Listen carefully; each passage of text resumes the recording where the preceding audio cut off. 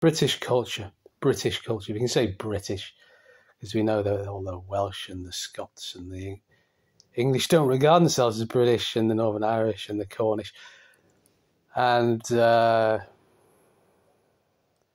North of Englanders and Lord Bath, 1970s Wessex Party members, that it's all then about the Midlands that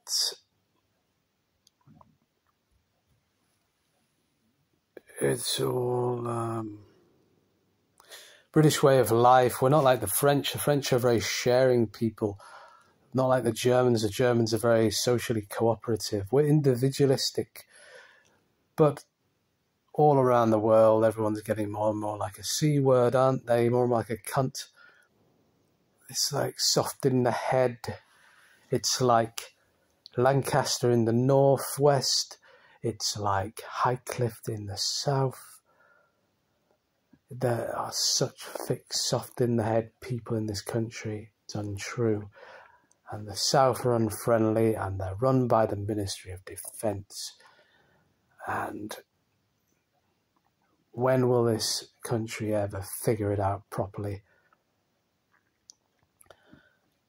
Nobody gets on, and it's what the corporations want, of course, the communist corporations. Sounds contradiction in terms, but it isn't. I think that's about it. Like we, we think we're our way of life's it's not quite it, but there are other ways of life around the world. We're conformist, conformist, but we're sort of uh, do your own thing. Who cares about anyone? It's not that nobody. It's not that everybody is out for themselves, but a shitload too many people are.